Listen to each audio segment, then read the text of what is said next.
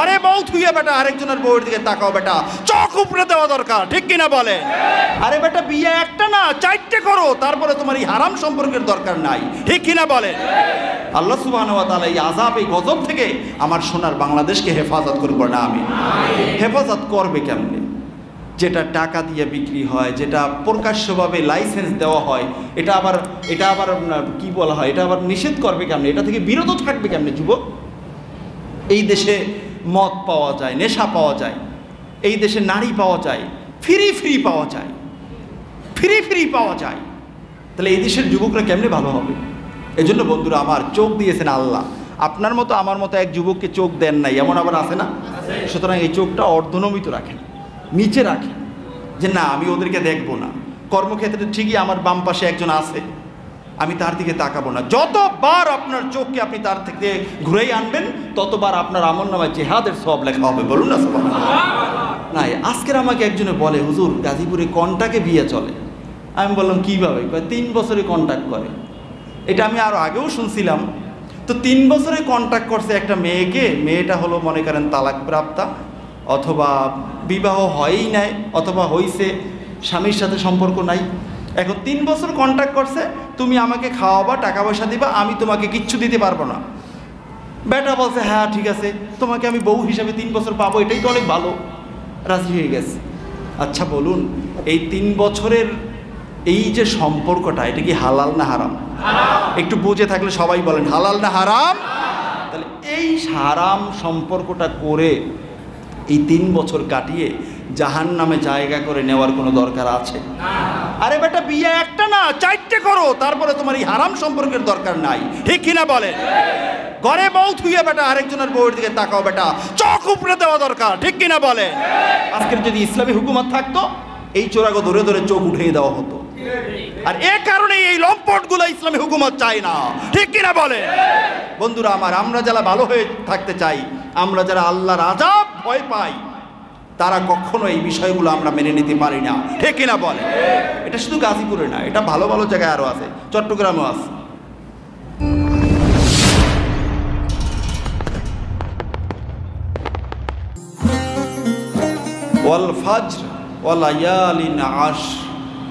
স্পষ্ট করে আল্লাহ ওয়া বলেছেন, লায়ালিন আশ মানে হলো দশ রজনীর কসম, বলুন সুবহান কয় রজনী বলেন? দশটা রাত্রের কসম। মুফাসরিন কিরামগণ বলেছেন, এই যে দশটা রাতের কসম আল্লাহ তালা করেছেন, আল্লাহ তাআলা সহজে কসম করেন না। কসম করেন তখনই যখন বান্দাদেরকে কোনো একটা ব্যাপারে খুব গুরুত্বপূর্ণভাবে বুঝাতে হয় বা জানাতে হয়, তখনই আল্লাহ সুবাহানা হুয়া তালা কসম করে কোনো একটা বিষয়কে উপস্থাপন করেন। আল্লাহ সুবাহানা হুয়া তালা এই জিলহজ মাসের প্রথম দশ দিনের এত বেশি ফজিলত, এটা বুঝাতে গিয়ে আল্লাহ সুবাহানা হুয়া তালা নিজেই কসম করেছেন যে, বান্দারা আমার, আমি আল্লাহ সর্বময় ক্ষমতার অধিকারী হয়ে আমি তোমাদেরকে দশটি রাতের কসম করছি, যেই দশটি রাত হলো আমার সৃষ্টির মাঝে, গোটা বছরের মাঝে শ্রেষ্ঠতম রাত বলুন সোভান কেমন শ্রেষ্ঠতম? আমরা ইনশাল্লাহ হাদিস শরীফের মাধ্যমে আমরা জানব। তাহলে এখান থেকে আমরা বুঝতে পারলাম যে আল্লাহ তালা নিজেই এই দশ রজনীর কসম করেছেন। ঠিক কিনা বলেন? এরপরে সুরাতুল বাকারা দুইশত তিন নম্বর আয়াতে আল্লাহ সুবাহান তালা বলেছেন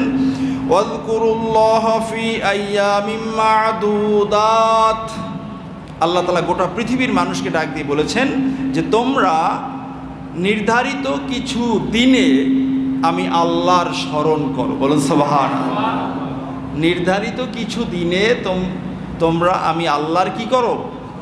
স্মরণ করো। তার মানে হলো বছরে চার, পাঁচ, দশ রাত এবাদত বন্দিগি করলেই হবে, বাকি আর কোনো দিন এবাদত বন্দিগি করা লাগবে না। ঠিক কিনা বলেন? তাহলে কেমন আল্লাহ সুবাহ কেন বলছেন এটা? আল্লাহ তালা বলেছেন মাদু দাঁত দ্বারা যেটা উদ্দেশ্য করা হয়েছে মোফাসরিন কেরামকান বলেছেন যে এটার দ্বারাও উদ্দেশ্য হলো এই জুল হিজ্জা মাসের দশ দিন। বলুন সবহান আল্লাহ তার মানে হলো তোমরা অন্য অন্য সময় এবাদত তো করবেই। এই সময়টা যেহেতু বেশি ফজিলতপূর্ণ এই সময়ে তোমরা বেশি বেশি ইবাদত করো বলেন সবহান তাহলে আমাদেরকে এই সময় এবাদত করার দরকার আছে কি নাই? কিন্তু এবাদত করবে কি? এই সময়টা তো ব্যবসারও সিজন যে গরুর ব্যবসা করে, গরুর ব্যবসায় খুব ভালো লাভবান হয়। যে মশলার ব্যবসা করে মশলায় খুব ভালো লাভবান হয়। কাপড়ের ব্যবসা যে করে, সে কাপড়ের খুব ভালো লাভবান হয়। পথে ঘাটে এত জ্যাম আর জ্যাম, তার কারণটা কি? সব ব্যবসায়ীদের মাঝে ব্যবসার জমজমাট অবস্থা, ঠিক কিনা বলেন? আর মুসলমান আজকের তো আমল শূন্য। আর একদল আলেমও আছে যারা মুসলমানদেরকে আলেম থেকে দূরে সরাতে চায়। ঠিক কিনা বলে বন্ধুরা আমার যাদের তাকদির ভালো তারাই এই সময় আমল করে নিজের কবরকে আলোকিত করে নেবেন। আল্লাহ সুবাহানা হুয়া তালা ওই সমস্ত সৌভাগ্যবান বান্দাদের অন্তর্ভুক্ত আমাদেরকে করে নেন বলুন আমিন। মহাজাজ হাজরিন আল্লাহ সুবাহান ওয়া তালা বলেছেন আయ్যা মিম্মা আদুদাত এরপরে সুরাতুল হাজ্জের আঠাশ নম্বর আয়াতে আল্লাহ তালা বলেছেন, ফি আয়ামি মালুমাত। আগের আয়াতে বলা হয়েছে মাদুদাত আর এখানে বলা হয়েছে মালুমাত। আল্লাহ তালা বলেছেন এখানে যে ওয়াজ কুরুস মাল্লাহ তারা এমন বান্দা যারা আমি আল্লাহর জিকির করে, ফি আয়ামি মালুমাত। নির্ধারিত কিছু দিবসে বলুন সোহান নির্ধারিত কিছু সময়ে। তার মানে হলো, ফজিলতপূর্ণ সময়ে আমি আল্লাহর যারা নিকটবর্তী বান্দা, যারা খুব মোকাররব বান্দা, তারা বসে থাকে না, তারা ঘুমিয়ে থাকে না, তারা সময়কে অপচয় করে না, বরং সদা সর্বদা আমি আল্লাহর জিকিরে তারা লিপ্ত থাকে। বলুন সোবাহান এখানেও এই মালু মাদ দ্বারা উদ্দেশ্য হলো, জিলহজ মাসের প্রথম দশ দিন। বলুন সোবাহান আমরা কোরআনুল কারিমের তিন সুরার তিন আয়াতে কারিমার মাধ্যমে আমরা জানলাম যে আল্লাহ সুবাহানওয়াতালা জিলহজ মাসের দশ দিনের কথা নিজেই উল্লেখ করেছেন। ঠিক কিনা বলেন? এ পর্যায়ে আসেন হাদিস শরীফে সুনান তিরমিজি সাতশত আটান্ন নম্বর হাদিস। হজরত আবু হরাই রাদি আল্লাহ তাল আহ্ন থেকে বর্ণিত, তিনি বলেন, কলা আনিন্নাবি সাল্লাল্লাহু আলাইহি ওয়াসাল্লাম ক্বালা মা মিন আইয়ামিন আহাব্বু ইলাল্লাহি তাআলা আইয়ুতাআব্বাদা লাহু ফিহা মিন আশিজিল হিজ্জা রাসুলুল্লাহ সাল্লু আলহিহাসাল্লাম বলেছেন যে, আমার রব, আমার আল্লাহর কাছে সবচেয়ে বেশি প্রিয় এবাদত হলো জিলহজ মাসের প্রথম দশ দিনের এবাদত বলুন সোভান কে বলছেন? রাসুল্লাহ সাল্লাহ আলহিহাসাল্লাম মা মিন আইয়া মিন আহাব্বু ইলাল্লাহ। আমার আল্লাহর কাছে এর চেয়ে প্রিয় আর কিচ্ছু নাই।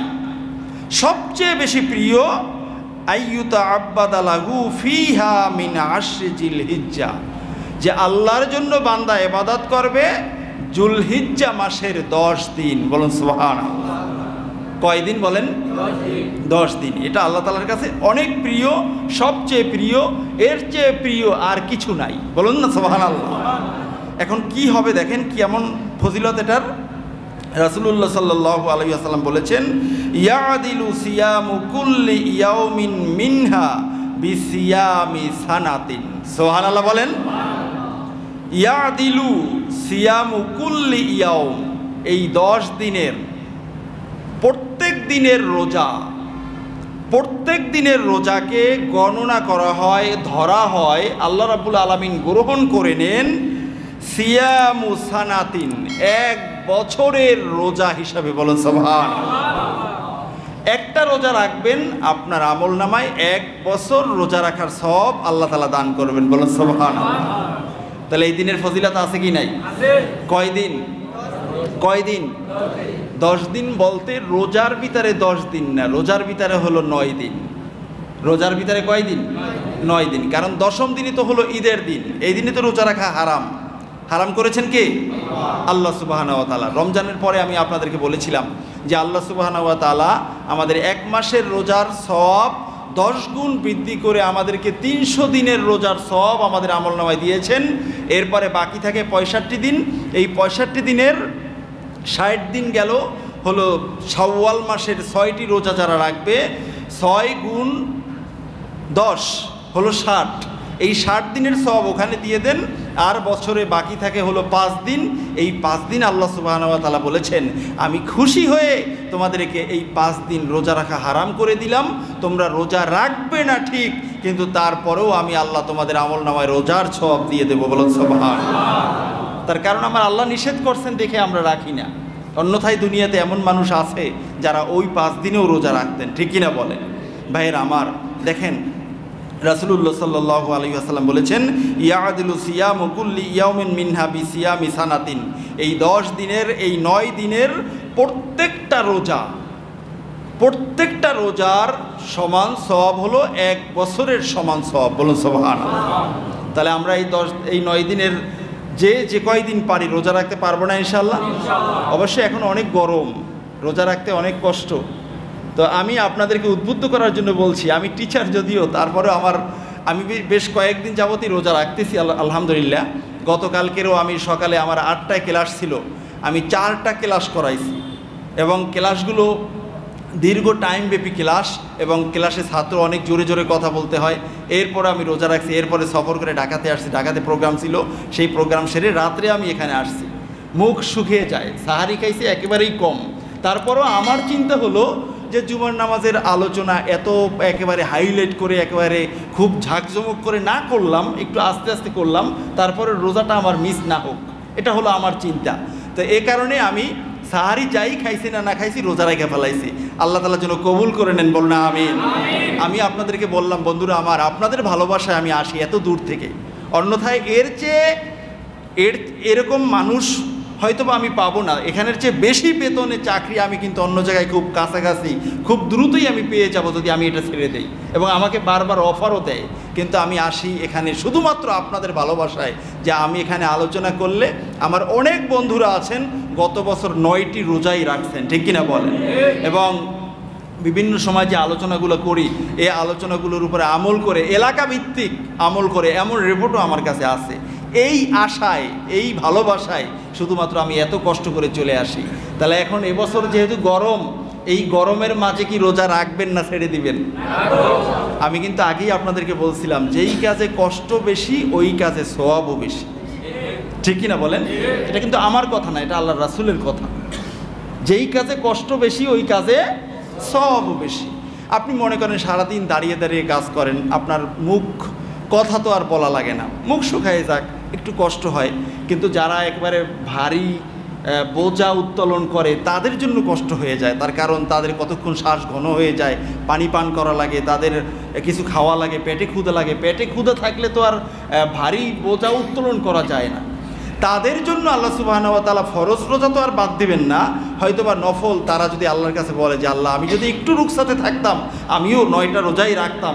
হয়তো বা আমার আল্লাহ সুবাহ তালা তাদেরকেও এই সব দিয়ে দিতে পারেন, ঠিক কিনা বলেন? কিন্তু যারা আমরা একটু সুযোগ আছে, বন্ধুরা আমার এবছরে জিলহজ মাসকে সামনে রেখে জিলহজের দশটা রোজার, নয়টা রোজার ফজিলত বা জিলহজ মাসের দশ দিনের ফজিলত আমি বর্ণনা করতেছি। আগামী বছর আমাদের দেশের, আমাদের এই পৃথিবীর এবং আল্লাহ সুবাহানুয়া তালার এই নিজামের এই সিস্টেম আগামী বছরে আমরা পাবো কি পাবো না, তার কোনো নিশ্চয়তা আছে বলেন?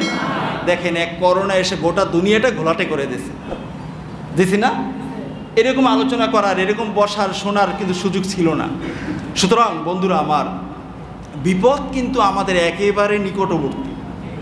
বিপদ আমরা যেহেতু শেষ জামানার উম্মত বিপদ আমাদের একেবারে নিকটবর্তী। এ কারণে রাসুলুল্লাহ সাল্লাহ আলাইসাল্লাম বলেছেন, বাদিরু বিল আমাল। ও আমার উম্মতেরা, তোমরা নেক আমলের দিকে খুব দ্রুত এগিয়ে যাও। তার কারণ, আজকের দিনটা তোমার সবচেয়ে ভালো যাচ্ছে, তুমি এটাই মনে করো।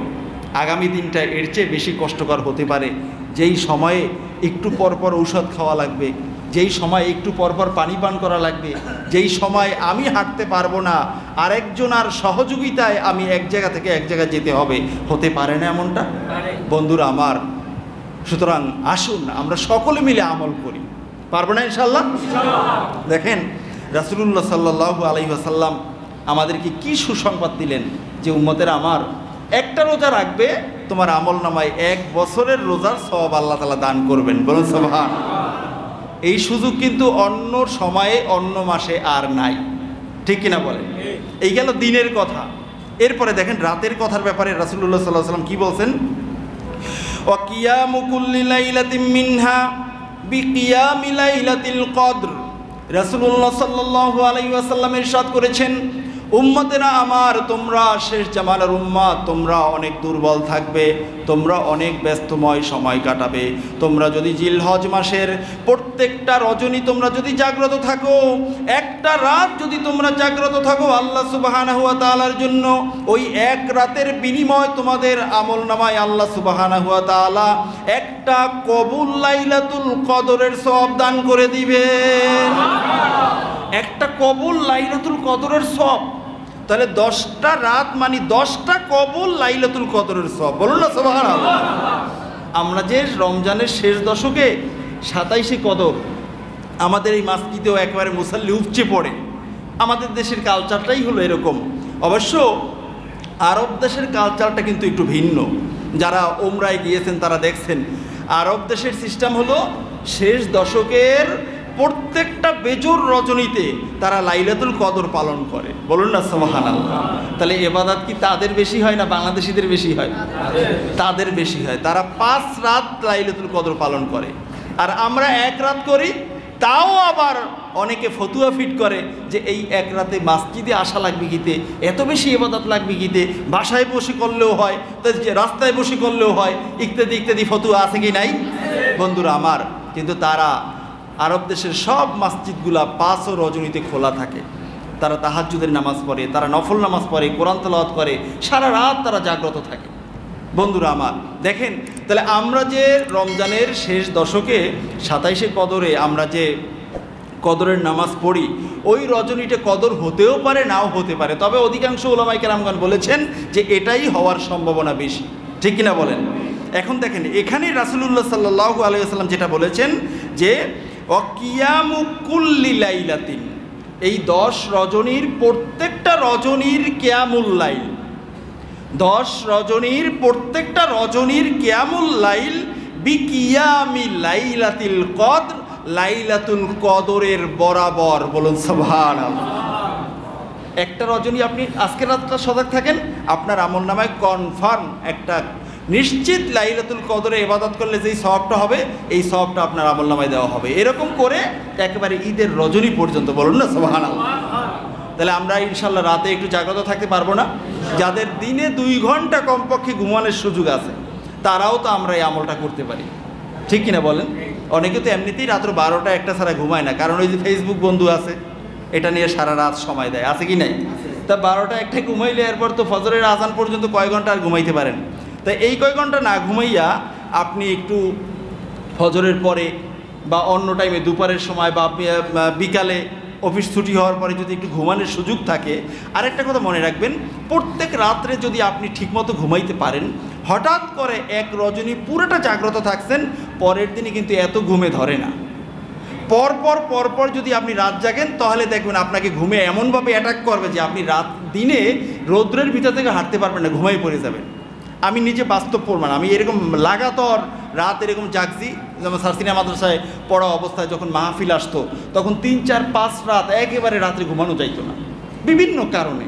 তো এই যে সজাগ থাকতাম, এই সজাগ থাকার পরে জোহরের নামাজ পড়তে যাইতাম মাঠের ভিতর থেকে, কিন্তু এই রৌদ্রের ভিতরে ঘুমে ধরতো। মানে যেখানে বসতাম সেখানে ঘুম, যেখানে বসতাম সেখানে ঘুম।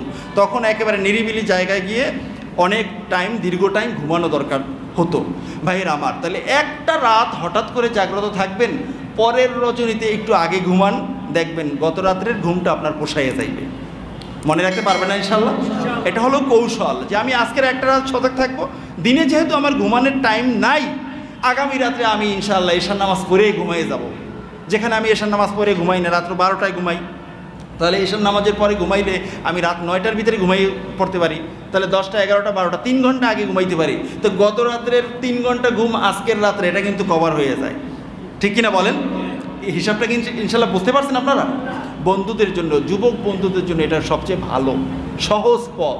মুরাব্বিরা অনেক সময় এটা পারে না, কারণ শারীরিক দুর্বলতা থাকে। শরীর টিকায় রাখতে পারে না। কিন্তু যুবকদের জন্য সব কিছু সম্ভব। ঠিক কিনা বলেন? আর যুবকরা না হলে তো এদের স্বাধীনই হইতো না। ঠিক কিনা বলেন? তাহলে এখনও পরাধীনতার গোলামি আমাদের গলায় থাকতো। ঠিক কিনা বলেন?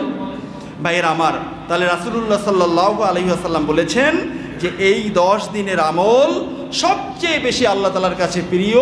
প্রত্যেকটা রজনী হলো কদরের রজনী সমান বরাবর, আর প্রত্যেকটা দিনের রোজা হলো এক বছরের সমান রোজার সব। মনে রাখতে পারবেন না ইনশাল্লাহ নিজে মনে রাখব, যাদের সাথে মোবাইলে কথা হবে তাদেরকেও জানিয়ে দিব। মনে রাখতে পারবেন না ইনশাল্লাহ সুরান তিরমিজি, সাতশত আটান্ন নম্বর হাদিস।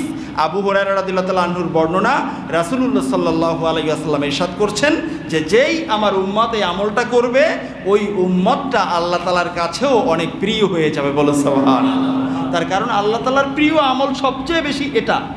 পুরো বছরের ভিতরে সবচেয়ে প্রিয় আমল আমার আল্লাহর কাছে এটা, আর এই প্রিয় আমলটা যারা করবেন, তারাও আমার আল্লাহর কাছে প্রিয় হয়ে যাইবেন। ঠিক কিনা বলেন? আল্লাহ সুবাহানা ওয়া তাআলা আমাদেরকে এই আমল করার তৌফিক দান করুন বলেন আমিন। বন্ধুরা আবার এ পর্যায়ে আমি আপনাদেরকে এই আমলগুলো যাতে আমরা করতে আরেকটু আগ্রহান্বিত হই এ কারণে আমি আরেকটা বর্ণনা আপনাদেরকে শোনাবো। যেই বর্ণনাটা এসেছে দুর্রতুন্নাসহিন আফিল ওয়াজ ওয়াল ইরশাদ লিখেছেন এই কিতাব উসমান ইবনে হাসান ইবনে আহমাদ আর শাকের আল কুয়াইরি রহমাল্লাহ তালা উনি ওনার কিতাবের ভিতরে একটা বর্ণনা এনেছেন যে মানসমা হাজিহিল আইয়ামা আশিয়া। আল্লাহর যেই গোলাম, এই দশ দিন, দশ রাত এবাদাত করবে, দশ দিন, দশ রাতের মর্যাদা দিবে ইবাদত করার মাধ্যমে আল্লাহ সুবাহানা হুয়া তালা খুশি হয়ে তাদেরকে দশটা পুরস্কার দান করবেন। বলুন না সোহান আল্লাহ দশটা দিক থেকে আল্লাহ তালা তাদেরকে সম্মানিত করবেন। এক নম্বর দিক হলো আল বারাকাতুফি উমরিহি। যারা এই দশ দিন এবাদাত করবে দিনে এবং রাতে, সাধ্য মতো তাদেরকে আল্লাহ তালা এক নাম্বার পুরস্কার যেটা দিবেন, ওই বান্দার জীবনটা যত বড় হোক বা ছোট হোক, এই জীবনের মাঝে আল্লাহ সুবাহানা ওয়া তালা বরকত ঢেলে দিবেন। বলুন না সুবাহানা তাহলে আল্লাহ তালা বরকত দিলে লাভ না লস তো এখন আল্লাহ সুবাহ যদি বরকত দেন, আমি যদি আগামীকালকের মারা যাই, আমার এই এক রাতের জীবনে যদি আল্লাহ বরকত দেন, এই রাতে আল্লাহ সুবাহ আমাকে অনেক কিছু করাইয়ে নিতে পারেন। ঠিক কিনা বলেন? দেখেন বড় বড় ইমাম যারা, যেমন আল্লামা জালালউদ্দিন সৈয়দি রহমুল্লাহ তালা মাত্র তেহাত্তর বছর জীবন পাইছেন। এই তেহাত্তর বছরে বেচারা আল্লাহর এই অলি বন্ধু ছয়শোর উপরে কিতাব লেখছেন। বলুন না সোবাহান আল্লাহ কয়শোর উপরে? ছয়শোর উপরে। এবং তিন লক্ষর মতো হাদিস তার মুখস্থ। এত পড়ালেখা করছেন কখন? আল্লাহ সুবাহান তালা কুদরতিভাবে বরকতটা একেবারে ঢেলে দিয়েছেন। তাহলে আল্লাহ সুবাহান তালা আমাদের জীবনে বরকত দিবেন, এটা চাই কি চাই না? সবাই বলেন, বন্ধুরা, আমার চাই কি চাই না? তাহলে বরকত নিতে হইলে কি করতে হবে? আমাদের কাছে এখন যে সময়টা আছে, এই দশ দিন দিনে এবং রাতে বেশি বেশি নফল এবাদত করতে হবে, তবে ফরজ নামাজ একক তো না পড়লেও চলবে, ঠিক কিনা বলেন?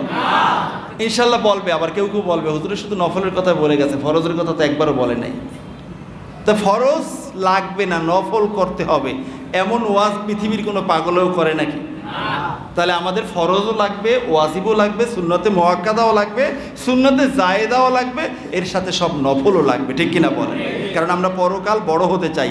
আমরা এখানে যারা আছি, সব গরিব গরিব মানুষ। কারও বাড়িতে ভাঙ্গা ঘর, কারও চার খুঁটির, তিন খুঁটি আছে, এক খুঁটি নাই, এমন অনেক মানুষ আছে না আমরা? অনেকে বাড়িতে ঘরই নাই, বাড়িতে যাই না এই কারণে ঈদ কোরবানি তো বাড়ি যায় না, এমন মানুষ আমি চিনি। হুজুর, বাড়িতে তো ঘর নাই, আছে আত্মীয় স্বজন যারা, গেলে তাদের বাসায় ঘুমান লাগে, এই কারণে যাই না, এখানে থাকি ভাড়াটিয়া, এটাই ভালো। তাহলে বন্ধুরা আমার পরকালেও কি এরকম ভাঙ্গা ঘরে থাকতে চান নাকি? এই ভাঙ্গা ঘরে থাকা মানুষটা এই এবাদাতগুলো যদি যথা যথোপযুক্ত মর্যাদা সহ এবং নিয়াত খালেস করে যদি করে থাকে, কাল হাসর ময়দানে এই ভাঙ্গা ঘরের মালিকটা হয়ে যাবে কেয়ামতের বাদশাহ। বলুন না সোভান আমরা পরকালটা সবচেয়ে ভালো চাই ইনশাল্লাহ সব কষ্ট ভুলে যাবেন। আমি আপনাদেরকে সবে বরাতের সময় হাদিস শুনাইছি। একটা মানুষ দুনিয়াতে অনেক কষ্ট করছে। কষ্টের পথ যতগুলো ছিল, সবগুলো দিক থেকে সে কষ্ট পাইছে। কিন্তু লোকটা ছিল সৎ, নামাজি। এই নামাজ রোজা ঠিকমতো করার কারণে আল্লাহ সুবাহ তালা তাকে মাফ করে দিয়ে তাকে আল্লাহ তালা জান্নাত দিয়ে দিয়েছেন। এখন জান্নাতে যাওয়ার পরে ফেরেশতা এসে তাকে জিজ্ঞাসা করে, বান্দা, তুমি কি দুনিয়াতে কোনো কষ্ট করছিলে? ওই বান্দা অকপটে বলে দেবেন যে, না আমি দুনিয়াতে কোনো কষ্টই করি নাই। বলুন না আল্লাহ অথচ ষাট বছর ছিল রাস্তাঘাটে, এখানে সেখানে, মানুষে খারাপ বলছে, মানুষে গালিগালাজ করছে, কিন্তু আল্লাহর বন্দিগি সে ছাড়ে না বলুন না সোহানা তাহলে ওই রকম একজন বান্দা যদি আমি হই, আমার কোনো আফসোস থাকবে? যেই সময়ের শুরু আছে, শেষ নাই, ওইটাই তো সাজাতে হবে, ঠিক কিনা বলেন? বন্ধুরা, আমার এত কথা আমি বলি, এরপরেও তো অন্যায়। আজকের আমাকে একজনে বলে, হুজুর, গাজীপুরে কন্টাকে বিয়ে চলে। আমি বললাম, কীভাবে? কয়, তিন বছরে কন্ট্যাক্ট করে। এটা আমি আরও আগেও শুনছিলাম। তো তিন বছরে কন্ট্যাক্ট করছে একটা মেয়েকে, মেয়েটা হলো, মনে করেন তালাক প্রাপ্তা অথবা বিবাহ হয়ই নাই, অথবা হইছে, স্বামীর সাথে সম্পর্ক নাই। এখন তিন বছর কন্ট্যাক্ট করছে, তুমি আমাকে খাওয়াবা টাকা পয়সা দিবা, আমি তোমাকে কিচ্ছু দিতে পারব না। বেটা বলছে হ্যাঁ ঠিক আছে, তোমাকে আমি বউ হিসাবে তিন বছর পাবো, এটাই তো অনেক ভালো। রাজি হয়ে গেছে। আচ্ছা বলুন এই তিন বছরের এই যে সম্পর্কটা এটা কি হালাল না হারাম? একটু বুঝে থাকলে সবাই বলেন হালাল না হারাম? তাহলে এই হারাম সম্পর্কটা করে এই তিন বছর কাটিয়ে জাহান নামে জায়গা করে নেওয়ার কোনো দরকার আছে? আরে বেটা, বিয়ে একটা না, চারটে করো। তারপরে তোমার এই হারাম সম্পর্কের দরকার নাই। ঠিক কিনা বলে? ঘরে বউ থুয়ে বেটা, আরেকজনের বউয়ের দিকে তাকাও বেটা। চোখ উপরে দেওয়া দরকার, ঠিক কিনা বলে? আজকের যদি ইসলামী হুকুমত থাকতো, এই চোরাগো ধরে ধরে চোখ উঠিয়ে দেওয়া হতো। আর এ কারণে এই লম্পটগুলো ইসলামী হুকুমত চায় না। ঠিক কিনা বলে? বন্ধুরা, আমার আমরা যারা ভালো হয়ে থাকতে চাই, আমরা যারা আল্লাহর আজাব ভয় পাই তারা কখনো এই বিষয়গুলো আমরা মেনে নিতে পারি না। ঠিক কিনা বলে? এটা শুধু গাজীপুরে না, এটা ভালো ভালো জায়গায় আরও আছে, চট্টগ্রামেও আছে। বন্ধুরা আমার এই জন্য আমি বলব, আপনাদের নলেজে যদি এরকম থাকে, প্রশাসনকে ধরাই দেবেন। গোপনে বলে দিবেন, কারণ আপনি প্রকাশ্যভাবে বললে তো আপনাকে ধরবে। পুলিশে গিয়ে বলবে যে, কই, তোমার বিবাহের কাগজপত্র দাও, সব দাও। আমি বিবাহ করার পরে, আমি গেছি, আমার বাড়ি তো যশোর, আমি গেছি হলো খানজাহান আলী। যশোর থেকে ভাগের ভাগেরহাট, ওখানে গেছি। তো আমাকে একজন বলল যে, হুজুর, যাইবেন তো? দিনকাল বেশি ভালো না। আপনি দেখেন, ওই ম্যারেজ সার্টিফিকেট নিয়ে যাইয়েন। আমি বললাম, কেন? আমি তো হুজুর মানুষ। ক হুজুর মানুষ হইল, এরপরে এটা নিয়ে যাইয়েন। আমি বললাম, আমি তো এরপরে আরও অন্যদিকেও যাইতে চাইছি। বল- বল- বলছে যে, সিলেট যাইতে চাইছিলাম। যাওয়া হয় নাই। তো এখন আমাকে বলল যে, কোথাও গেলে খবরদার। এই সন্তানাদি হওয়ার আগ পর্যন্ত ম্যারেজ সার্টিফিকেট ছাড়া যাইয়েন না। গেলে নাকি পুলিশে প্রশ্ন করবে, ধরবে, আটকায় রাখবে। কিসের কোনো প্রমাণ আছে বিবাহের? কোনো প্রমাণ নাই। বন্ধুরা, আমার এই জন্য যদি কোথাও শোনেন যে এই ধরনের অবৈধ সম্পর্ক করতেছে, পুলিশকে জানিয়ে দেবেন। পুলিশ ভাইয়েরা গিয়ে সব নারী নক্ষত্র খুঁজে বাইর করবে? আল্লাহ সুবাহ তালা এই আজাব এই গজব থেকে আমার সোনার বাংলাদেশকে হেফাজত করব না আমি হেফাজত করবে কেমনে? যেটা টাকা দিয়ে বিক্রি হয়, যেটা প্রকাশ্যভাবে লাইসেন্স দেওয়া হয়, এটা আবার এটা আবার কি বলা হয়, এটা আবার নিষেধ করবে কেমনে? এটা থেকে বিরত থাকবে কেমনে যুবক? এই দেশে মদ পাওয়া যায়, নেশা পাওয়া যায়, এই দেশে নারী পাওয়া যায় ফ্রি ফ্রি পাওয়া যায় ফ্রি ফ্রি পাওয়া যায়। তাহলে এই দেশের যুবকরা কেমনে ভালো হবে? এই জন্য বন্ধুরা, আমার চোখ দিয়েছেন আল্লাহ। আপনার মতো, আমার মতো এক যুবককে চোখ দেন নাই, এমন আবার আছে না? সুতরাং এই চোখটা অর্ধনমিত রাখেন। নিচে রাখেন যে না, আমি ওদেরকে দেখব না।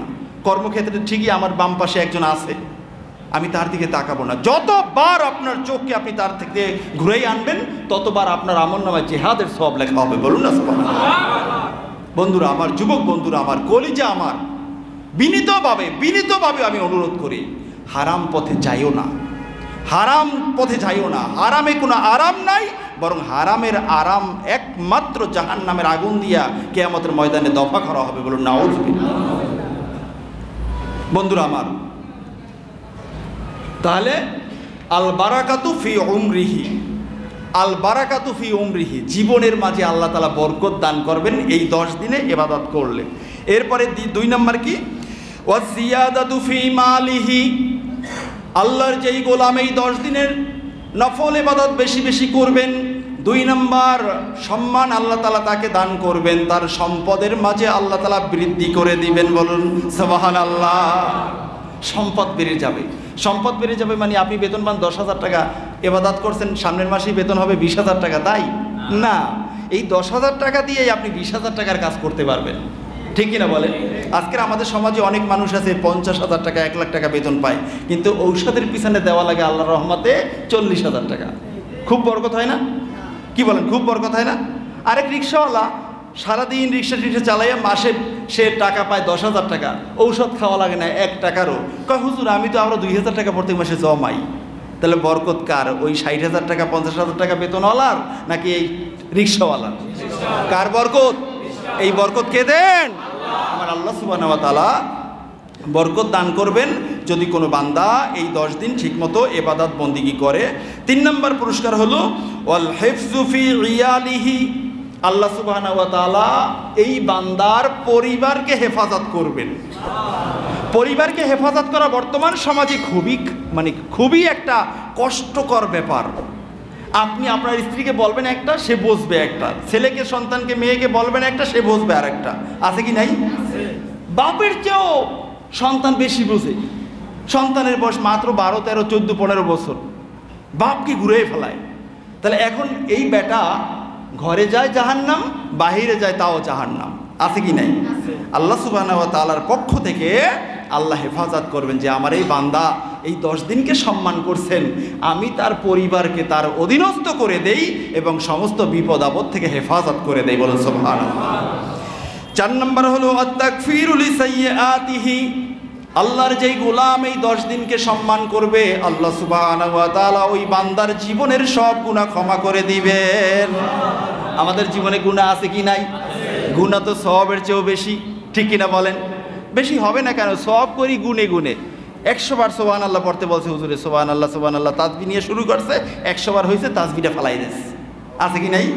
একবারও বেশি পড়বে না, একবার বেশি বললে গুণা হবে, একবার বেশি বললে সেটা আস্তাক ফিরুল্লাহ হয়ে যাবে। একবারও বেশি পড়বে না। কিন্তু একশোবার পড়ার পরে বাহিরে বাইরে যেটা করে, সবগুলো গুণা হয়ে যায় কয়েকশো, কয়েক হাজার, ঠিক কিনা বল? তো গুণাটা তো গুণই না। গুণই শুধুমাত্র ন্যাকের আমলটা। ঠিক কিনা বলেন? তাহলে আমাদের জীবনে কি ন্যাক বেশি না গুণা বেশি? গুণা বেশি। এই গুণা বেশি, এটাকে কম করার জন্য আল্লাহ তালা আমাদের সামনে এই অফারগুলো এনে দিয়েছেন। বলুন না সবাহান আল্লাহ গুণা করলাম এক বছর। এক বছরের মাঝে একটা রাত হলো সবে কদরের রাত। আর ওই একটা রাত যদি সবে কদরের রাত্রে আমি আপনি এবাদাত বন্দিগি করতে পারি। আল্লাহ রসুল সাল্লাহ আলাইহাসাল্লাম জানিয়েছেন, আমার আল্লাহ বলেছেন, লাইলাতুল কদর খৈরুম মিন আলফি শাহর। এক রাত এবাদাত করলে তেরাশি বছরের চেয়েও বেশি সব আল্লাহ তালা দান করে দিবেন। তেরাশি বছর, অথচ আমার বয়সই হয়েছে পঁচিশ বছর, তিরিশ বছর। এক রাতের এবাদত করে আমি পাইয়ে গেলাম তিরাশি বছরের এবাদত বলুন না সব আল্লাহ তাহলে আমার এরকম যদি পাইয়া যাই তাহলে কি লাভ আছে না লস আছে? নেকি বেশি হবে না বদ বেশি হবে?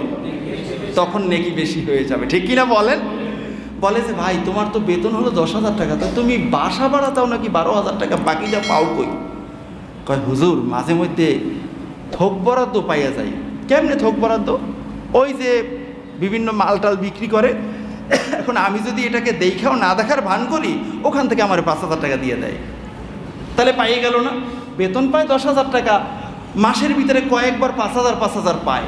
কারণ উনি তো গেটম্যান উনি যদি না ধরে, তাহলে তো চোর, চোরা চোরা চালানটা খুব সহজে চালানো যায়। তাই এরকম যদি সাত আটবার পাওয়া যায়, তাহলে পাঁচ, সাত, মোটামুটি চো হাজার চল্লিশে টাকা এমনি হয়ে যায়। তাহলে আমি বারো হাজার, দশ হাজার টাকা বেতন পাইয়া বারো হাজার টাকা বাসা রাখতে আমার সমস্যা কি? এই টাকাটা কি হালাল? একটু বুঝে থাকলে বলেন এই টাকাটা কি হালাল? কথা কি পিছনে বুঝে যায়? পিছনে বুঝে যায় ভাই?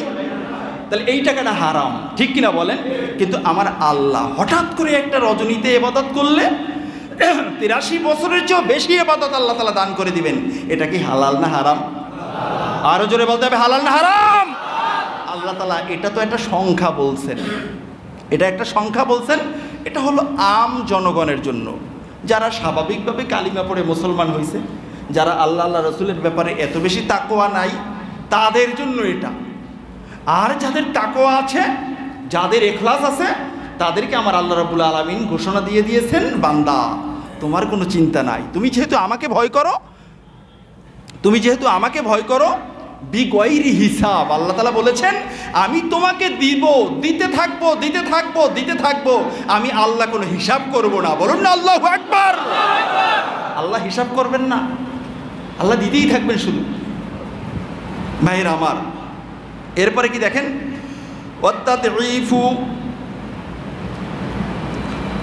অত্যাদিফুলি হাসানাতিহি পঞ্চম নাম্বার যে পুরস্কারটা আল্লাহ তালা দিবেন, সেটা হলো তার নেক আমলগুলোকে আল্লাহ তালা বাড়াইয়া দেবেন। বলুন না সুবাহান আমল করবে একটা। কোরআন শরীফে আছে, সাতশো গুণ পর্যন্ত বাড়ানো হয়। দশ গুণ পর্যন্ত বাড়ানো হয়। কিন্তু আমার আল্লাহ সুবাহান তালা ওই বান্দার আমলকে সাত আর সাতশো আর দশ না, বরং হাজার হাজার লক্ষ লক্ষ কোটি কোটি গুণ বাড়াইয়া দেবেন। বলুন না সুবাহান এটা হলো এই দশ দিন যারা ইবাদত করবে, তাদের আমল নামে আল্লাহ তালা দিবেন। এরপরে ছয় নাম্বার হলো অত্যাসিলুলি সাকরাতি মাউতিহি। যখন বান্দার কাছে মালাকুল মাউত এসে যাবে, যখন মালাকুল মাউত যান কবচ শুরু করবে, তখন আল্লাহ সুবাহান হুয়া তাআলা ওই বান্দাকে মালাকুল মাউতের যান কবজের কারণে কোনো শাস্তি দিবেন না। বলুন সুবাহান আল্লাহ মালাকুল মাউত আসবে, সুন্দর চেহারা হয়ে আসবে।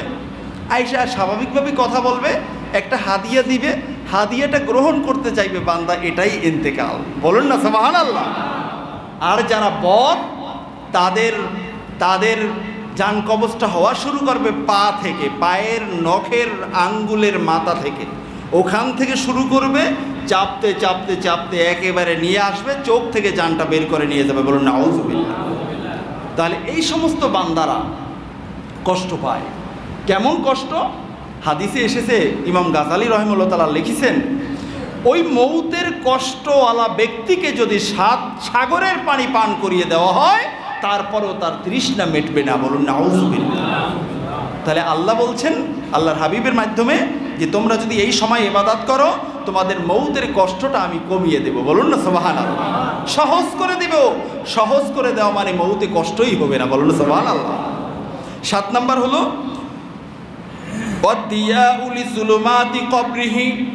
মৌতের পর যখন বান্দাকে কবরে রাখা হবে কবরটা হলো অন্ধকার। কিন্তু যারা এই দশ দিন এবাদাত করবে তারা কবরে গিয়ে দেখবে কবরটা আলোকিত। বলুন সোহান আল্লাহ কবরটা কি? আরে কবরস্থানে তো রাত্রে আমরা যাইতেই সাহস পাই না। আছে না অনেক মানুষ? কয় ভাই তুমি আমাকে এই জায়গাটা একটু পার করে দিয়ে আসো। আরে কবরস্থান পার করে দেওয়ার পর তো বড় জঙ্গল আছে। ওখানে তো শিয়াল থাকতে পারে বাঘ বাল্লুক থাকতে পারে। তো ওখানে ভয় পাও না, এখানে ভয় পাও কিসের? কয়, ভাই, আমি কবরস্থানকে ভয় পাই। কবরস্থানকে ভয় পাই, অথচ এখানে ওনাকেও থাকতে হবে কিন্তু অগণিত বছর, লক্ষ লক্ষ বছর। কবরস্থানে যাব না ইনশাল্লাহ আমার? সবার সাথে কবরস্থানের সাথে একটা সম্পর্ক আছে। হাদিসে আছে, যাকে যেই জায়গার মাটি থেকে বানানো হয়েছে, তাকে ওই জায়গায় কবরস্থ করা হবে। সুতরাং আমার শরীর আমার শরীর, আমার দেহ দেখবেন কিছু মোটা তাজা মানুষ এবং আমার মতো লাম্বা, ওই ছোটোখাটো মানুষকে কোনো পাত্তা দিতে চায় না। নিজের এই শরীর নিয়ে এটা নিয়ে অহংকার করে। আছে কি নাই? আল্লাহ রসুল বলছেন, কাল হাসর ময়দানে বেটাই হাতির মতো শরীর, এটা দিয়ে কেয়ামতের ময়দানে একটা মশার পাখা বরাবর ওজন আল্লাহর কাছে হবে না। বলুন নাউজবিল্লা কেয়ামতের ময়দানে আল্লাহর কাছে শরীরের ওজনে ওজন হবে না, আমলের ওজনে ওজন হবে। ঠিক কিনা বলেন? বন্ধুরা আমার, তাহলে এখন এই মানুষগুলো এই শরীরটার সাথে একটা জায়গার মাটির সাথে সম্পর্ক আছে। ওই জায়গাটাই তার কবর হবে, বলুন না সোহান তাহলে কবর আমরা আলোকিত চাই কি চাই না? সবাই চাই কি চাই না? হুজুর, আলোকিত কেমনে রাখব? কারেন্ট তো রাতে থাকে না। কারেন্ট থাকে নাকি? রাত্রে তো কারেন্ট নিয়মিত থাকে না। এখন আলোকিত কবর কেমনে রাখবেন? এটা কি সম্ভব? কবর আলোকিত মানে কি? কবরের উপরে আলোকিত। কবর সুন্দর মানে কবরকে টাইলস করা। কবর সুন্দর মানে কবরকে ফুল বাগান বানানো? না। কবরের নিচে আলোকিত করা। আর নিচে আলোকিত হবে শুধুমাত্র কবরওয়ালার কারণে। ঠিক কিনা বলে এখানে দুনিয়ার কোনো মানুষের হাত নাই। আপনি যেটা নিয়ে গেছেন সেটাই পাবেন। মানুষে বাঁশ দিয়ে ঢাকবে মাটি দিয়ে ঢাকবে এরপর আপনার আমলটাই আপনার কাছে আসবে। কারও কাছে আসবে সুন্দর একটা মানুষ। আপনি কে চিনলাম না? আমি তো আপনার অমুক অমুক আমল। আবার কারও কাছে আসবে এমন বিচ্ছিরি মানুষ দুর্গন্ধযুক্ত চেহারার দিকে তাকাইলে ভয় লাগে। আপনি কি আপনি কি আপনাকে দেখলে আমার ভয় লাগে? চলে যান। আমি নিঃশ্বাস নিতে পারছি না, গন্ধ গন্ধ। আহা, আমাকে কেন তুমি দূরে সরাও? আমি তো তোমার সেই আমল। রাতে দরজা বন্ধ করে না খাইতা? রাতে না তুমি অমুকের পরামর্শ করতে অমুকরে কেমনে বাস দিবা? আমি তো সেই রাত্রের আমল। আমি তো তোমাকে ছাড়বো না। আমি তোমার কাছে কেয়ামত পর্যন্ত থাকব। বলুন না নাউজুবিল্লা বন্ধুরা, আমার আমার এই কথা কি আপনাদের বিশ্বাস হয়? দেখি কার কার বিশ্বাস হয়? আল্লাহ আকবার। জীবনে আর অন্যায় করব না, আল্লাহকে সাক্ষী রেখে আমরা হাত নামাই। অন্যায় করব? এখনই মালাকুল মাউত, এই মসজিদ থেকে বের হওয়ার আগে আমার মৌত হতে পারে। ঠিক কিনা বলেন? ভাইরা আমার, দেখেন। এরপরে কি? কাল হাসর ময়দানে যখন আল্লাহ ওয়া আমলটাকে ওজন দিবেন এই দশ দিনের এবাদতকারী বান্দার আমল নামা নেকের পাল্লাটা আল্লাহ তালার সামনে ভারী হয়ে যাবে বলুন সুবাহান আল্লাহ আল্লাহ হাসি দিয়ে, মুস্কি হাসি দিয়ে কুদরতিভাবে বলবেন, ও বান্দা, তুমি তো জীবনে অনেক নেক আমল করেছ, তোমার কোনো হিসাব নেওয়ার দরকার নেই, তুমি সোজা আমার জান্নাতে চলে যা যাও। কিয়ামতের ময়দানে আমল নামা ভারী হোক, চাই কি চাই না? আমল করতে হবে এই দশ দিন, ঠিক কিনা বলেন? এরপরে আরেকটা হলো নয় নম্বর হলো, অন্নাজাতু মিন দারকাতিহি। আল্লাহ সুবহানাহু ওয়া তাআলা এই বান্দাকে জাহান্নাম থেকে মুক্তি দিয়ে দেবেন। বলো না সুবহানাল্লাহ। দশ নম্বর হলো ওয়াসউদু আলা দারাজাতিহি। এই দশ দিনে যারা আমল করবে, তারা তো জান্নাতে যাবে তো ঠিক আছে। জান্নাতে যাওয়ার পরে প্রতিনিয়ত তার মর্যাদাটা বাড়তে থাকবে। আল্লাহর পক্ষ থেকে মেসেজ আস মেসেজ আসবে, সংবাদ আসবে। ফেরেশতা এসে বলবেন, ও আল্লাহর বান্দা, তুমি তো এই জান্নাতটা পেয়েছ। আল্লাহ তালা তোমাকে খুশি হয়ে আরও একটা বিশাল এরিয়া দান করেছেন। চলো চলো, ওই এরিয়াটা তোমার এই এরিয়ার চেয়ে আরও বেশি সুন্দর। আল্লাহ একবার বান্দা বলবে, আল্লাহ, ও ফেরেশতা, আমার তো এটাই অনেক ভালো লাগে, এর চেয়েও সুন্দর।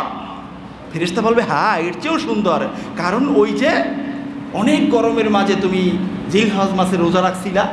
ওই যে গরমের মাঝেও তুমি কেমন লাইল করছিলা, এ কারণে আল্লাহ খুশি হইয়া, আল্লাহর এটা মনে আছে। তুমি যদি ভুলে গেছো, আল্লাহ মনে করে ফেরেশতাকে বলছে, ফেরেশতা, যাও, আমার বান্দাকে অমুক এরিয়াটাও দিয়ে আসো দেখাই আসো। বলুন না সবান আল্লাহ তাহলে আমরা চাই কি চাই না? বন্ধুরা, আমার সময় তো শেষ। আমি আপনাদেরকে একটা বর্ণনা শোনাতে চাই জুবদাতুল ওয়াইজিন নামক কিতাবের মাঝে এসেছে।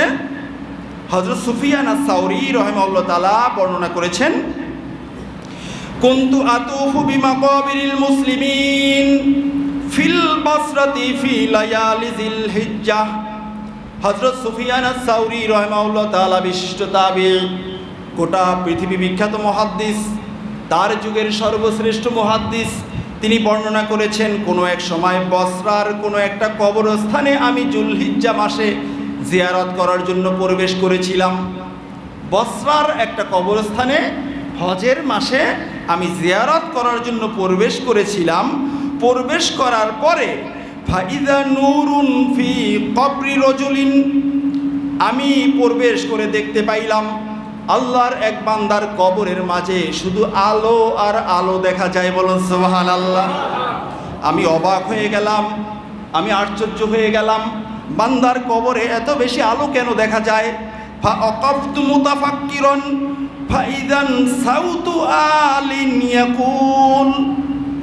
আমি আশ্চর্য হয়ে, চিন্তিত হয়ে, অবাক হয়ে তার কবরের পাশে দাঁড়িয়ে দাঁড়িয়ে ভাবতেছি, এই আলোগুলো কোত্থেকে আসে কোত্থেকে আসে?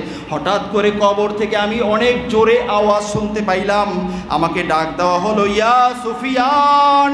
আল্লাহ একবার কবরের ভিতর থেকে সুফিয়ান সাউরির নাম ধরে ডাক দেওয়া হলো সুফিয়ান! কি দেখেন? আলাইকাপি সিয়ামি আশ্রি জিল হিজ্জা তোমার জন্য উচিত হলো তুমি জিলহিজ্জা মাসের দশ দিন রোজা রাখবে। সোহান আল্লাহ বলেন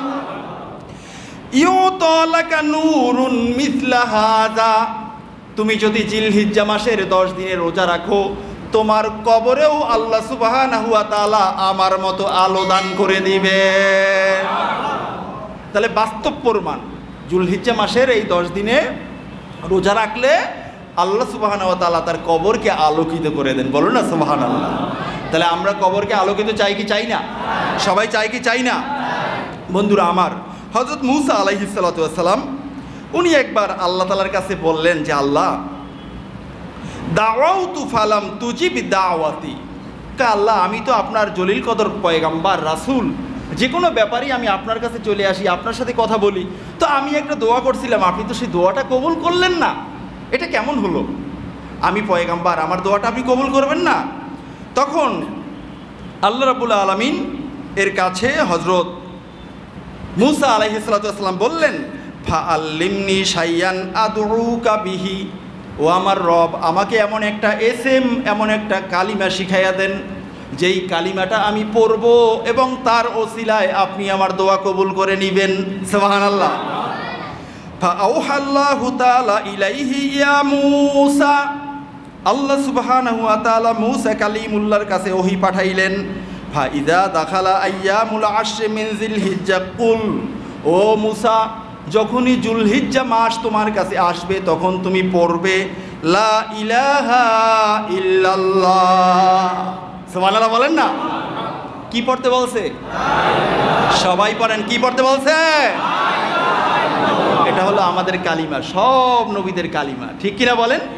মুসা, তুমি এই কালিমাটা পড়বে আকদি হা আমি তোমার প্রয়োজন পূরণ করে নিব, তোমার দোয়াটা কবুল করে নিব। জবান আল্লাহ সহজ একটা ব্যাপার। মুসা নবী তো অনেক চালাক, অনেক সচেতন। এখন কি বলতেছেন দেখেন? কয়, আল্লাহ, আমি আপনার কাছে চাইলাম একটা স্পেশাল জিনিস। আপনি আমাকে এমন একটা জিনিস জানাইলেন যেটা দুনিয়ার সবাই জানে। দুনিয়ার সবাই কি? জানে। কারণ মুসানবী তো খালি বারবারই বলে মুসা কালিমুল্লাহ রসুল্লাহ ঠিক কিনা বলেন? তো এই কালিমার দাওয়াত তো মুসা আজীবন দিচ্ছেন। এখন আল্লাহ শিখাইয়ে দিয়েছেন যে মুসা যখন জিলহজ মাস আসবে, তখন তুমি লা ইলাহা ইল্লাল্লাহ বলবে, তাহলে এই নামের ওসিরায় আমি তোমার দোয়া কবুল করে নিব। বলুন না সোহান আল্লাহ মুসানবী কয়, আল্লাহ এমন একটা জিনিস জানাইলেন যেটা আমি আগের দিয়েই জানি। আমি তো জানি জানি, সবাই জানে, এমনকি ফেরাউনও জানে। ঠিক কিনা বলেন? এখন আল্লাহ কি বলতেছেন দেখেন। পালায়া মুসা, মান কলা ইলাহা ইল্লাল্লাহ ফি হাদিহিল আইয়ামি মাররহ। ও মুসা, তোমাকে আমি কালিমা লা ইলাহা ইল্লাল্লাহ শিক্ষা দিলাম। তুমি বললা, এটা স্বাভাবিক একটা কালিমা। কিন্তু জেনে রাখো জেনে রাখো, কোনো আমার বান্দা যদি জিল, জুলহিজ্জা মাসে একবার মাত্র লা ইলাহা ইল্লাল্লাহ উচ্চারণ করে, লাউ উদিয়াতিস সামাউ সাবউ ওয়াল আরদু নাসাবউ ফি কাফিহিল মিজান। আর আমার আল্লাহ সুবহানাহু ওয়া তাআলা যদি, আমি আল্লাহ যদি এমন একটা দাড়ি পাল্লা স্থাপন করি, যেই দাড়ি পাল্লার এক পাশে হবে সাত আকাশ এবং সাত জমিন, এবং এই লা ইলাহা ইল্লাল্লাহ কালিমাটা হবে অপর পাত্রে, অপর পাল্লায়, ফি কাফিল উখরা লা ওয়া রাজ্জাহাত হাযিহিল মাকালাতু আলাইহিন্না জামিয়া। আমি আল্লাহ ঘোষণা দিলাম, এই সাত আসমান এবং জমিনের চেয়েও বেশি ভারী হয়ে যাবে আমার কালিমা। লা ইলাহা ইল্লাল্লাহ। সুবহানাল্লাহ। মুসা, এবারে বুঝতে পারছ যে আমার কালিমার কি পাওয়ার? সাত আসমান জমিনের চেয়েও ভারী হয়ে যাবে। তাহলে এই কালিমাকে তুমি স্বাভাবিক কালিমা মনে করো। তার মানে হলো এই কালিমা লিখতে বারোটা হরফ। কয়টা হরফ? নাকি ছয়টা হরফ? লা ইলাহা ইল্লাল্লাহ। মোহাম্মদুর রসুল্লাহ সব মিলে হলো বারোটা হরফ। এই ছয়টা হরফের ওজন না বরং কালিমার ওজন তার মানে হলো এই কালিমার যে তাকাজা এই কালিমার যে চাওয়া আর পাওয়া এটার ওজন। বলুন না সবাহাল আল্লাহ এই কালিমার চাওয়া এবং পাওয়া হলো লা ইলাহা ইল্লাল্লাহ। আমার রব হলেন আমার আল্লাহ। আল্লাহ ছাড়া অন্য কোনো ইলাহা নেই। আল্লাহ ছাড়া দ্বিতীয় কোনো ক্ষমতা নেই। আল্লাহ ছাড়া দ্বিতীয় কোনো রব নেই। এই কথাটা যে সত্য, এই সত্যের ওজনের কাছে সাত আসমান এবং জমিন অনেক অনেক অনেক বেশি হালকা হয়ে যায় বলুন সোহান আল্লাহ তাহলে এই হাদিস থেকে আমাদের শিক্ষা আমরা যদি বেশি বেশি এই কালিমাটা পড়ি, এই কালিমা রসিলায় আমাদের দোয়াও আল্লাহ কবুল করে নেবেন। ঠিক কিনা বলেন? বন্ধুরা, আমার জিলহজ মাস এসেছে। জিলহজ মাসে আমরা এবাদাত বন্দিগি করব? জিলহজ মাসের এবাদাত বন্দিগি সহজ করবে, করে কীভাবে আমি একটু মনে রাখতে পারি? এজন্য আমি কয়েকটা কোটেশন আপনাদেরকে বলি, একটু খেয়াল করে শুনবেন। এক নাম্বার হলো, জিলহজ মাসের এই দশ দিনে এক নাম্বার আমল হলো রোজা। এক নাম্বার আমল কি? রোজা, যেটা আমরা হাদিস থেকে পাইলাম। রোজা রাখব আমরা, পারলে আমরা নয় দিনই রাখব। আর যারা এর চেয়ে কম পারব, কমপক্ষে শুক্রবার, বৃহস্পতিবারের রোজাটা রাখি, সোমবারের রোজাটা রাখি। এরপরেও যদি কেউ না পারি, কমপক্ষে নয় তারিখের রোজা ইয়মে আরাফার রোজাটা আমরা রাখব। পারব না ইনশাল্লাহ আরাফার দিন কোন দিন? পত্রিকা দেখে আপনারা জেনে নেবেন। হজের দিনই হলো আরাফার দিন। মুসলিম শরীফের হাদিসে এসেছে এক হাজার নয়শো তিরাশি নাম্বার হাদিস। আল্লাহ রসুল বলেছেন, যারা আরাফার দিনে রোজা রাখবে, তাদের জীবনের পিছনের এক বছরের এবং আগামী বছরের গোটা দুই বছরের গুণা আল্লাহ তালা ক্ষমা করে দেন। বলেন সবাহান তাহলে কমপক্ষে একটা রোজা আমরা রাখতে পারব না ইনশাল্লাহ এ গেল রোজার ব্যাপার। এরপরে কিয়ামুল লাইল। আমরা কিয়ামুল লাইল করতে পারি। কিয়ামুল লাইল প্রত্যেকটা রাত্রে আমরা সজাগ থাকতে না পারলে কমপক্ষে আমরা জুমার রাত্রটা থাকি। কারণ আজকের বৃহস্পতিবার, কালকের হলো শুক্রবার। শুক্রবারে আমাদের অনেকেরই অফিস থাকে না। সুতরাং দিনে ঘুমাইতে পারবেন। যারা ঘুমের একেবারে বেশি আশেক, না ঘুমাইলে চলেই না। তারা এই বৃহস্পতিবার রাত্রে সজাগ থাকতে পারেন। শুক্রবার একেবারে সারাদিন ঘুমাইবেন, জুমার নামাজও লাগবে না, কারণ তো নফল এবাদত তো গত রাত্রে করছি ঠিক কিনা বলেন? জুমা লাগবে না ইনশাল্লাহ জুমার আগে এমনি সজাগ হয়ে যাইবেন, ঠিক কিনা বলেন? ফজর পরে ঘুমাইলে জুমার আগে এমনি সজাগ হয়ে যাবেন, জুমার নামাজ পড়তে আসতে পারবেন ইনশাল্লাহ ঠিক কিনা বলেন? তাহলে আমরা এভাবে কিয়ামুল্লাল করতে পারি। দ্বিতীয়ত হলো, আমরা ঈদ হবে যেই দিনে, তার আগের রাতটাও আমরা কেয়ামুল্লাল করতে পারি। হাদিসে এসেছে, যারা দুই ঈদের রজনী জাগ্রত থাকবে, কেয়ামতের ময়দানে তাদের কল মারা যাবে না, তাদের কলবে আল্লাহর জিকির জারি থাকবে। বলুন না সবহান আল্লাহ তিন নম্বর আমল হলো আমরা তওবা করতে পারি। বেশি বেশি তওবা করব এই সময়ে। আস্তাকুল্লা আস্তাকুল্লা তো পড়বই। বিশেষত আমি যে আপনাদেরকে যেই সিস্টেমে তওবা করাইছি, সবে বরাতের রজনীতে, এরকম করে করে আপনার জীবনটাকে পবিত্র করার জন্য একা একা বসে আপনারা তওবা করতে পারেন। মুখে, মনে মনে আমরা সবসময় তওবা করব। চার নাম্বার আমল হলো বেশি বেশি দোয়া করব। আমি গত বছর বলছিলাম যে দোয়ায় আমরা সহজে মানে আগ্রহী না। দোয়া একটু বেশি করলে হুজুরে কয়, হুজুর, হাত ব্যথা হয়ে যায়, এত বেশি দোয়া করেন কেন? ইত্যাদি ইত্যাদি। কিন্তু এই সময়ে কমপক্ষে আমরা এক ঘণ্টা ব্যাপী আমরা হাত উঁচু করে আল্লাহর কাছে কিছু একটা চাইব যে, আল্লাহ, আমি একটা জিনিস চাই, সেটা হলো আল্লাহ, আমি যেন আপনার প্রিয় বান্দা হতে পারি। ঠিক কিনা বলেন? এমন একটা, এক এক দিনে এক একটা বিষয়, এক ঘণ্টা, দেড় ঘণ্টা, দুই ঘণ্টা ব্যাপী আপনি দোয়া করতেই থাকেন করতেই থাকেন। বুখারির হাদিসে এসেছে, আর দোয়াও মাখুল এবাদা। জীবনে যত এবাদত করতেছেন, সব এবাদতের মূল হলো আপনার দোয়া। বলুন না সবাহান আল্লাহ এবাদত তো করতেছেন, কিন্তু আপনার মনের তামান্নাটা আপনি আল্লাহর কাছে সরাসরি বলতেছেন হলো দোয়ার মাঝে। এ কারণে আল্লাহ রসুল বলেছেন, এটা হলো সকল ইবাদাতের মগজ। বলুন না সোবাহান আল্লাহ এরপরে আমরা বেশি বেশি কোরআনুল কারিম তেলাওয়াত করতে পারি। বিভিন্ন কিতাবে এসেছে যে দশ দিনই আমরা এক খতম করতে পারি। যদি কেউ না পারি, বেশি বেশি সুরাই ইয়াসিন পড়তে পারি প্রত্যেক দিন কমপক্ষে দশ বার বা সুরাই এখলাস হাজার হাজার বার পড়তে পারি। হাজার হাজার বার না পারলেও একশো বার কমপক্ষে প্রত্যেক দিন আমরা সুরাই এখলাস পড়ব। ছয় নম্বর হলো আমরা বেশি বেশি দান সৎকা করব। দশ নম্বর হলো শরীর এবং মনকে আমরা হারাম বিষয় থেকে আমরা মুক্ত রাখব। মনে রাখতে পারবেন না ইনশাল্লাহ শরীর এবং মন, শরীর এবং মন, শরীরের সাথে হাত, পা, কান সব আছে। আমি এটাকে হারাম থেকে মুক্ত রাখব। হারাম কথা আমি মিথ্যা বলব না, হারাম ধরবো না, অহংকার করব না, বিশ্বাসঘাতকতা করব না, ইত্যাদি। যত হারাম আছে, এগুলো থেকে আমি বেঁচে থাকব। আট নাম্বার হলো আমরা বেশি বেশি তাসবি, তাহালিল পড়ব আল্লাহ রসুলের সরাসরি নির্দেশ। যখন এই দিনগুলো আসবে, তোমরা বেশি বেশি তাসবি, তাহালিল, তাকবির, ওই যে আল্লাহ আকবর আল্লাহ আকবর, নয় তারিখ থেকে তেরো তারিখ পর্যন্ত, এটা তো ওয়াজিব। এই তাকবিরটা আমরা এখন থেকেই পড়া শুরু করতে পারি এবং বেশি বেশি আমরা পড়ব। নয় নম্বর হলো, সমর্থবানদের জন্য দশ তারিখে কোরবানি করতে হবে। এটা হলো দশ দিনের একটা অন্যতম আমল। এরপরে দশ নম্বর হলো কোরবানি দাতা যিনি কোরবানি দিবেন এই দশ দিন তার নখ চুল দাড়ি মোষ ইত্যাদি অন্যান্য যে পশম আছে এগুলো থেকে কাটা থেকে বিরত রাখবে। এটা যদি করতে পারে এই আমলটা তার আমল নামায় একটা মোস্তাহাব আমলের সওয়াব আল্লাহ তালা দান করে দিবেন। মোটামুটি আজকের আমরা দশ দিনের ব্যাপারে আলোচনা করলাম। আল্লাহ সুবাহ তালার কাছে আমরা দোয়া করি আল্লাহ তালা যেন আমাদেরকে এই দশ দিনকে সম্মান করে আমল করার তৌফিক দান করেন বলুন আমিন।